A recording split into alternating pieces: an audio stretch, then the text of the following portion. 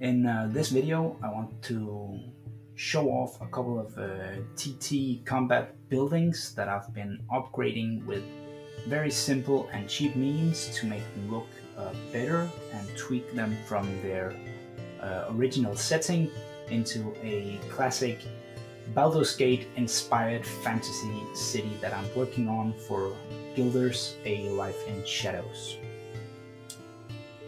Very few uh, materials needed besides the MDF kit. I've been using some um, coffee stirrers and uh, popsicle sticks. Those can uh, those are free if you know where to loot them in the coffee shop. Grab a handful here and there when you uh, get a coffee or you can buy a thousand of them for nothing.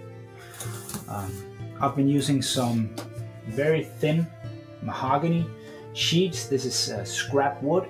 I've made a deal with the uh, with the local hardware store and sawmill that I can that I can loot and scavenge any trash from them. Uh, so I found a lot of this very nice thin mahogany that I'm I'm using to to upgrade some stuff trying to keep the color that it has naturally. Um, saves time and looks better than than I can paint the uh, light coffee stores and popsicle sticks. Lastly, I'm using a lot of um, pre pre-mixed uh, wood filler, polyfiller. This is uh, like a liter. It's heavy. There's a lot in it. It's uh, fairly cheap, and there'll be enough for a gazillion I've mixed in a bunch of wood glue to strengthen it further. It's easy to work with, but it adds a nice plaster effect to the buildings that I'm about to show off. So I'm just going to go over the buildings and uh, and show what I've been doing. I've bought and built a lot of uh, TT combat terrain over the years. Uh, for Guilders A Life in Shadow, I wanted to field a big fantasy city quickly for uh, for game testing purposes. So I build it all and then I've gone through each building afterwards and upgrading them with fairly simple techniques. This huge building I've uh, bought to use as an uh, as an inn.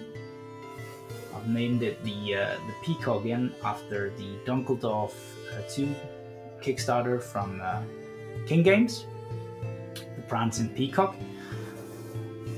and this is a small 25 millimeter building for uh, World War II games, also by uh, TT Combat.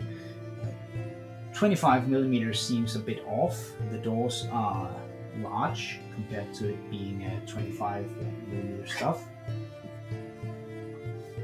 That's a uh, 32 millimeter model, so lots of room. With uh, both buildings, I've I've aimed to get a lot of color in my city. I want a lot of color in my uh, fantasy city. The ground floors are made as stone, and I've added a couple of, of cardboard bricks uh, to the walls, made from a couple of different thicknesses of uh, cardboard. And then it's just a, a uh, quick spray paint and dry brush. In the upper floors, both buildings, I've added uh, timber framing from popsicle sticks and then use the polyfiller to add plaster. The plaster really adds a lot to that flat MDF base and it's uh, easy to paint and uh, depending on how much time you want to spend I've uh, simply used the base color and then given it a homemade brown wash from thinned acrylic uh, brown paint and uh, dish soap. The roofs is an easy upgrade as well uh, cardboard shingles, cut out a long strip, then cut small triangles in it, and glue the entire strip once at a time, and added those. I made sure to make the roofs uh, playable by adding a flat piece of uh, cardboard to the top. For uh, a game like Guilders, where there's a lot of acrobatics and uh, jumping rooftops and, and Assassin's Creed style, this adds a lot of playability to the buildings. Smoke to the chimney stacks just adds a lot of life, feel of life to the city. Uh, this Streets of Venice building doesn't really come with a smokestack originally. It's from uh, some other World War II kits. and I've just uh, Frankenstein them. I don't remember where these small sites are from, some other M- uh, MDF kit by uh, TT Combat.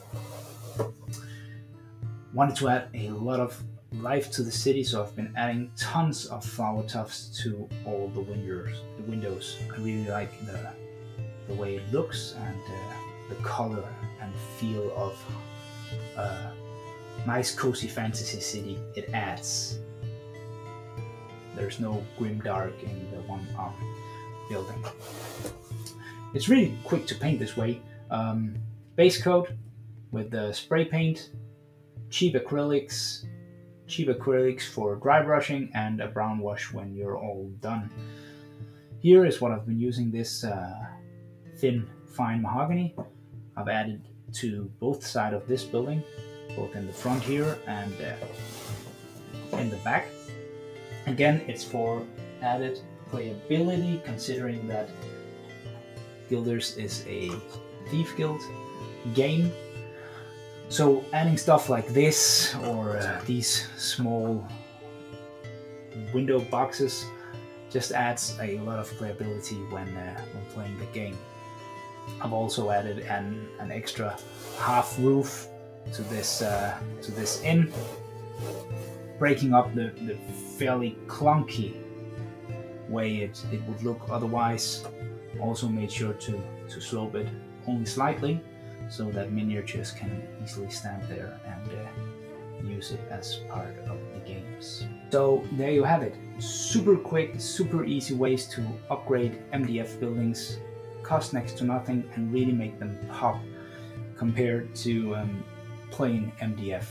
It's still below the level of detail on uh, plastic or resin of 3D printed buildings, but the speed with which you can complete them is much higher.